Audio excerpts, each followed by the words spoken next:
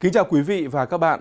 Cho rằng còn nhiều động lực đẩy giá vàng, nhiều nhà phân tích dự báo giá vàng có thể vượt trên mức 2.000 đô la Mỹ một ounce trong tuần này. Gạo là nông sản duy nhất có kim ngạch xuất khẩu tăng trong 7 tháng đầu năm.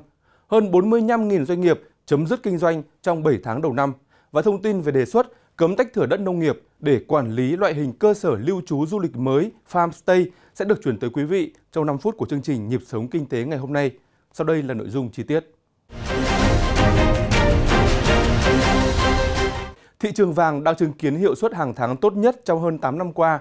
Nhiều nhà phân tích cho rằng vẫn còn nhiều động lực để đẩy giá vàng vượt trên mức 2.000 đô la Mỹ một ounce trong tuần này. Vàng giao ngay đã tăng hơn 10% trong tháng 7, mức nắm giữ tại các quỹ giao dịch trao đổi vàng cũng tăng lên mức kỷ lục do lo ngại về sự sụp đổ trong nhu cầu nhiên liệu do đại dịch Covid-19 gây ra. Với tình hình kinh tế chính trị bất ổn trên toàn thế giới, vàng hiện đang là nơi trú ẩn an toàn của giới đầu tư. Đà tăng mạnh mẽ của vàng cũng được cho là đến từ sự yếu kém của đồng đô la Mỹ và môi trường lãi suất thấp. Nhiều nhà phân tích cho rằng vẫn còn nhiều động lực để đẩy giá vàng vượt trên mức 2.000 đô la Mỹ một ao. Đầu tháng 6, giá của nhiều loại hải sản như cua biển, tôm hùm xanh hay ngao hai cồi tăng trở lại sau đợt giảm mạnh hồi tháng 4 do giãn cách xã hội. Tuy nhiên, đến tháng 7, mặt hàng này đang được nhiều cửa hàng ở Hà Nội giảm giá để kích cầu. Cuối tháng 7, cua thịt loại 3 con 1 kg còn 480.000 đồng 1 kg, cua gạch từ 540 đến 650.000 đồng 1 kg, so với giá bán có thời điểm lên tới 700.000 đến 800.000 đồng 1 kg. Cua biển đang có mức giá khá hấp dẫn, tôm hùm xanh, tôm Alaska cũng được ưu đãi mạnh còn 620 đến 650.000 đồng 1 kg, cua hoàng đế xanh giảm còn 1,7 triệu đồng 1 kg. Tôm hùm Canada sai từ 1 đến 1,2 kg về còn 760.000 đồng 1 kg.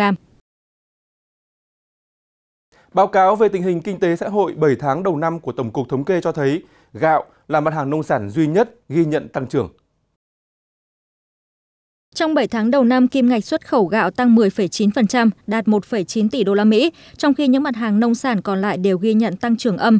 Xuất siêu tháng 7 đạt 1 tỷ đô la Mỹ và đạt 6,5 tỷ đô la Mỹ trong 7 tháng đầu năm. Hoa Kỳ vẫn là thị trường xuất khẩu lớn nhất của Việt Nam, tăng 15% và đạt gần 38 tỷ đô la Mỹ. Theo thông tin vừa được Tổng cục Thuế công bố, trong 7 tháng đầu năm 2020 có hơn 45.000 doanh nghiệp chấm dứt kinh doanh. Trong 7 tháng năm 2020, toàn quốc có trên 74.800 doanh nghiệp thành lập mới, giảm hơn 4.700 doanh nghiệp so với cùng kỳ năm 2019. Hơn 45.000 doanh nghiệp chấm dứt kinh doanh, tăng 159 doanh nghiệp so với cùng kỳ năm 2019. Đến ngày 19 tháng 7 năm 2020, toàn quốc có gần 800.000 doanh nghiệp đang kinh doanh, tăng gần 28.000 doanh nghiệp so với thời điểm cuối năm 2019. Theo khảo sát do CBRE, phần lớn yêu cầu đơn vị này nhận được trong quý 2 là di rời văn phòng, chiếm đến 72% tổng số yêu cầu thuê từ khách hàng. Theo CPRE Việt Nam, ước tính có tới 17.000 m2 văn phòng Hà Nội bị dư thừa trong quý 2, trong đó chủ yếu là văn phòng hạng B. Nếu trước đây các hợp đồng thuê thường có kỳ hạn từ 3 đến 5 năm và trung bình tăng giá từ 8 đến 10% mỗi mét vuông một năm, nay lợi thế này gần như không còn, đặc biệt trong bối cảnh nửa cuối năm, thị trường Hà Nội dự kiến sẽ đón 160.000 mét vuông diện tích mới. Sau căn hộ du lịch Condotel, thị trường bất động sản lại được kích hoạt bởi một mô hình mới, Farmstay. Việc farmstay nở rộ khi chưa có khung pháp lý điều chỉnh tiềm ẩn nguy cơ gia tăng tình trạng phân lô bán nền tràn lan, tách thửa đất nông nghiệp, đất rừng khó kiểm soát. Trước tình trạng này, Hiệp hội Bất động sản Thành phố Hồ Chí Minh đã kiến nghị Thủ tướng Chính phủ quản lý chặt việc tách thửa đất nông nghiệp.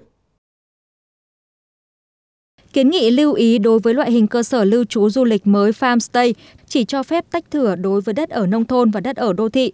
Với các loại đất khác xen cài trong khu vực đô thị, điểm dân cư nông thôn phải lập thủ tục chuyển mục đích sử dụng đất thành đất ở, sau đó mới thực hiện thủ tục tách thửa đất ở theo quy định.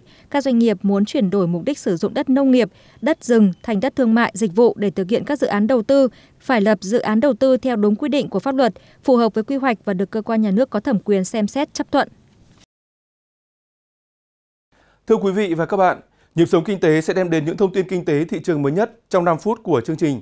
Chương trình phát sóng lúc 20 giờ 15 các ngày trong tuần, từ thứ hai đến thứ sáu trên truyền hình nhân dân. Cảm ơn quý vị và các bạn đã quan tâm theo dõi. Xin kính chào tạm biệt và hẹn gặp lại.